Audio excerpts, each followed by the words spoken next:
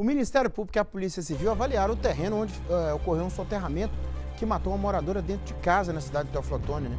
Um laudo pericial vai definir a necessidade de abertura de inquérito que encontre um culpado pela tragédia. A reportagem está aqui, pode balançar. A vistoria no local do soterramento foi realizada por quatro peritos da Polícia Civil de Teoflotone. Eles estavam acompanhados da equipe de investigadores da Delegacia de Homicídios. O promotor de justiça e a delegada de crimes contra a vida supervisionaram o trabalho.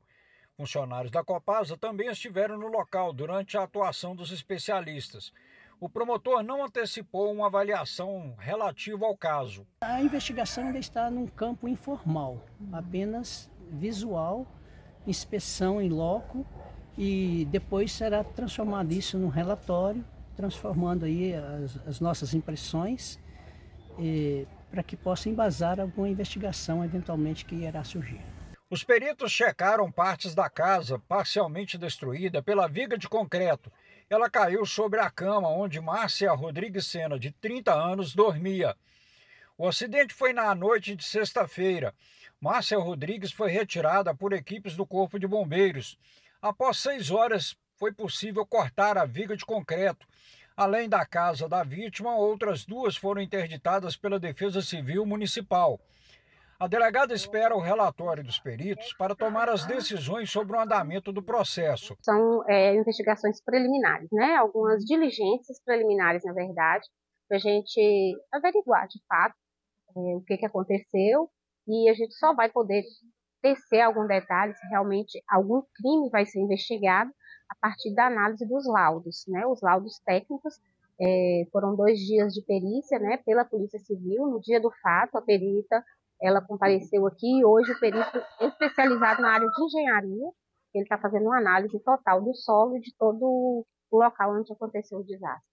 A perícia priorizou duas avaliações no local. Para a delegada, à luz do dia, é possível obter mais detalhes do ambiente. Temos que avaliar toda a situação, até porque tivemos uma morte.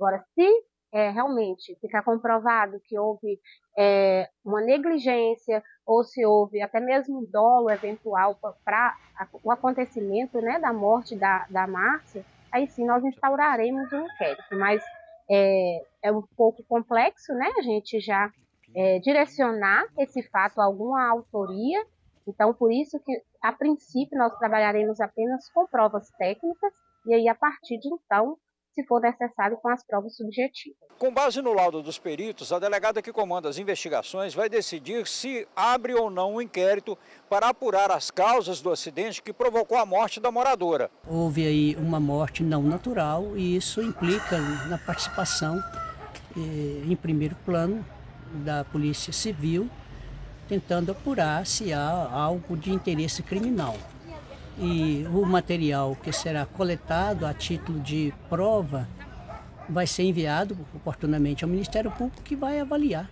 se há realmente interesse em prosseguir com investigações à busca de algum responsável. É, e que haja providências o quanto antes, né? o quanto antes.